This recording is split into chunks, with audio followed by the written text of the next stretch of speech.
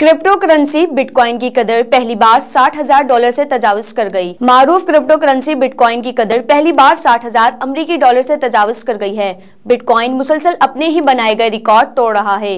इस crypto currency की कदर गुजश्ता साल के मुकाबले तीन गुना बढ़ी है। इसे कई कंपनियों ने अपनी अदायगियों का ज़रिया बना लिया है। बाज तजियाकारों का कहना है की कदर में इस ताज़ा इजाफे की बड़ी वजह यह है की अमरीका ने रवा हफ़्ते में एक स्टिमुलस पैकेज की मंजूरी दी है। गुजश्ता माह मार्केट में बिटकॉइन की मजमू कदर एक ट्रिलियन डॉलर ऐसी तजावज कर गई थी।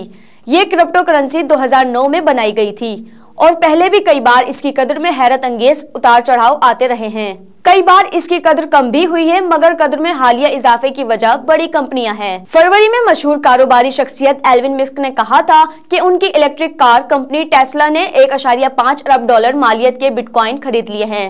मुस्तकबिल में वो बिटकॉइन के एवज गाड़ियों की खरीदो फरोख्त का इरादा रखते हैं। मास्टर कार्ड ने भी कहा है कि वो क्रिप्टो करेंसी के ज़रिए अदायगियों का एक नया निज़ाम मुतारिफ कराने का मंसूबा रखते हैं।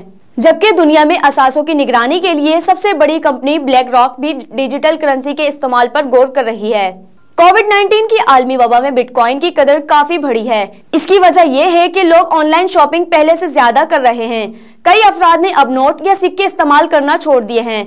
बिटकॉइन के नाकदीन समझते हैं कि ये कोई करेंसी नहीं, बल्कि अफवाहों की बुनियाद है।